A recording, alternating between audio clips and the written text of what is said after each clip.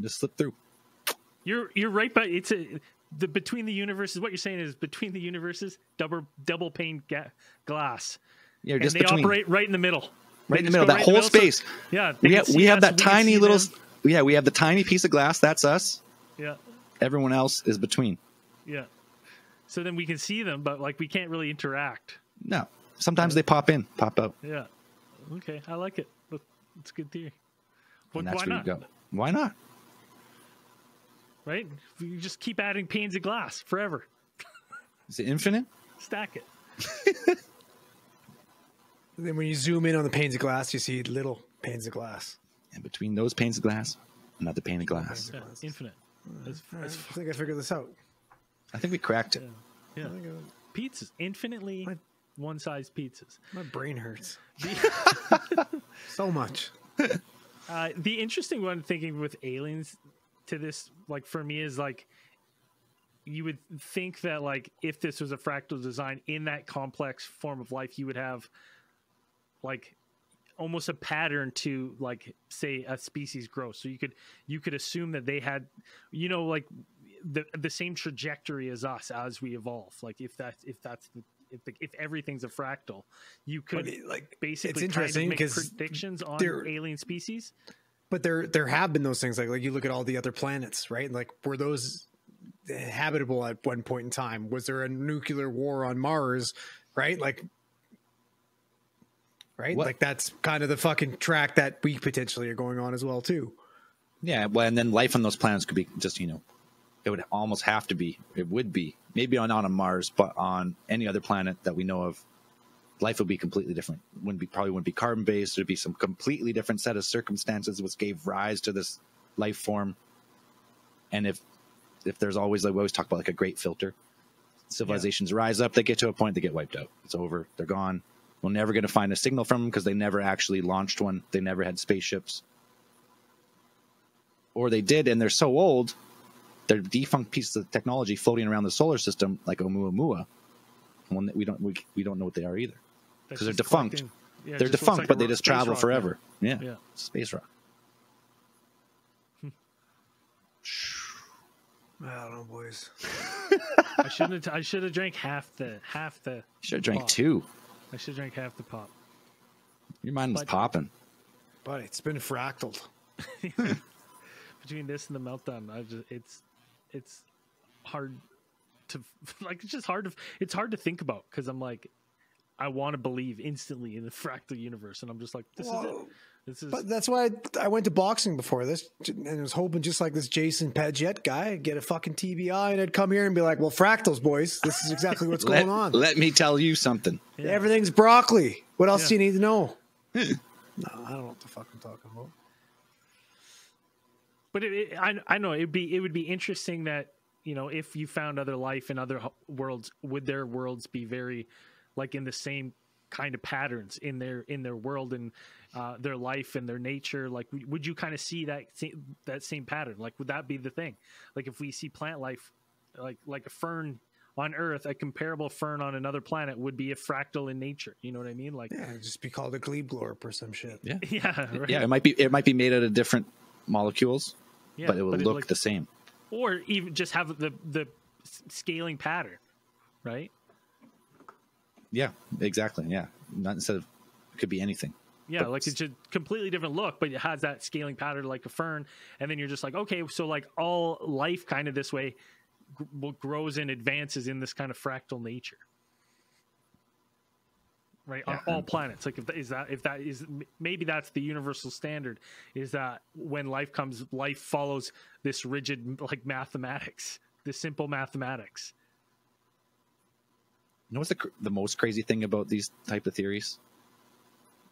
Holographic universe, simulation theory, string theory, fractal universe. Humans probably will never really know. Ever. There'll be the theories will evolve and evolve and evolve, but really, there's really no way to really you mathematically prove it. But in hundred years, someone might change the theory just a bit, which puts a small hole in yours. Does that go on forever? Like no matter how much knowledge you get, you will never know it all. Yeah, may, maybe like in a different sense. like knowledge is fractal, where it will just go on forever, and there's actually no end. You just keep going. You'll never actually get to the end. Well, you would, you, but that that's a hundred. You would say problems are just always going to get more complex. Well, Like, I never think get- I think we've found a lot of evidence to support like relativistic phy- physics works on the scale of like where we are. Like it's surprising the amount of On stuff our scale. Yeah, but I'm saying, but uh, it's surprising the things that were predicted by Einstein, and we've seen them now. Like we've been able to zoom in on them with our telescopes and like all the technology that we have today. We've detected things that's like he predicted that that math equation he wrote down, fucking, you know, 80 years ago. It works. It's amazing. Like holy shit! And we're just- like just that just E equals that MC squared. now. Like that's everything. Like it's it keeps working.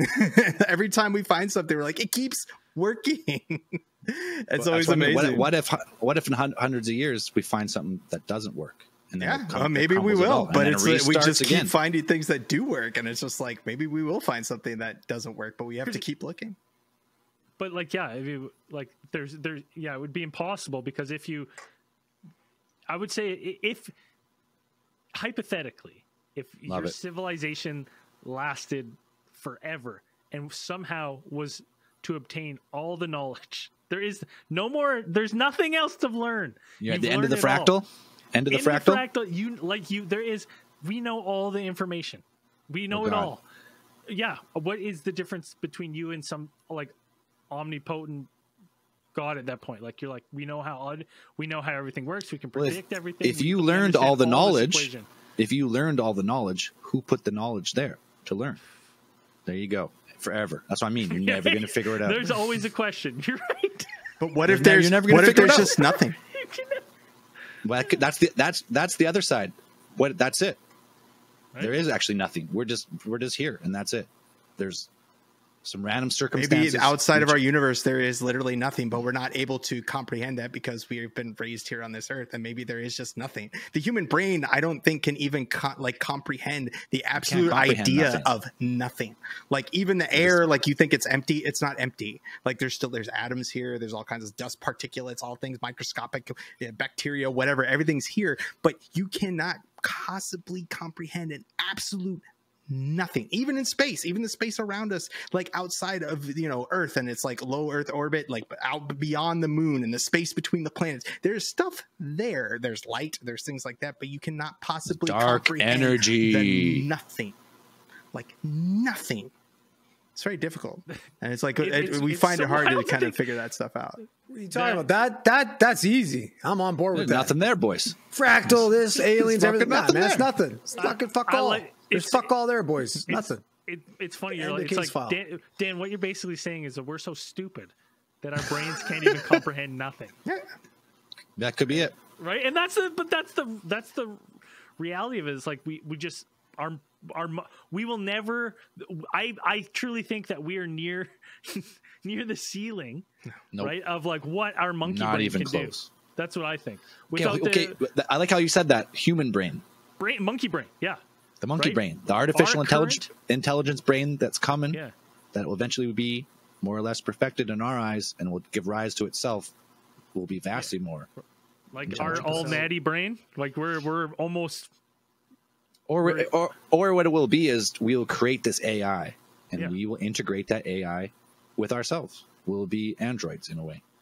Yeah, it's like Like Brainiac. It's like Brainiac and Lex Luthor. He has to. He has. They have to merge because Lex Luthor has imagination as a human, and Brainiac doesn't have that. He can't. As a machine, he cannot go beyond his limits because Yeah. he can't Oh. comprehend beyond his limits. So he has to merge with a human in order You- to you be able need- to yeah. conceive something that you never conceived of before. You need the intuitive human brain to merge with the ruthless brutality calculated AI. Not brain. even like the intuitive, Brain. just the random chaos of the human brain and how it exists, how we dream things that never existed before. You're just like, you know, some some at some point, like a caveman got got up and said, "Hey, you know, it'd be really cool if we had wings. Like I've never seen that before, but it'd be really neat if we did. Like yeah and he's like they have people with one. wings, and we got people. And then you got a hundred people jumping off cliffs, dying, and eventually And a someone makes a robot's hand. Like, the the cover of one of the greatest over he's like albums ever what the created. fuck Yeah. are you talking about Exactly. you stone little apes stupid fucking apes. Did you did you eat those mun- mushrooms that were going in the fucking woolly mammoth fucking shit again? You son of a bitch. it's I, I truly that if I find that a comforting thought, Dan, though, when you say that, because a lot of times when I think of artificial intelligence and like it taking over, I think of it as like Hey guys, thanks for watching. I know it's annoying to watch these uh, broken up in 10 minute segments, but here's the next one over here. Or if you want to watch the whole thing uncut and after hours, just click this link to our website and uh, give us a donation. You get ac- full access to it on Patreon. Anyways, thanks guys. Enjoy the next video.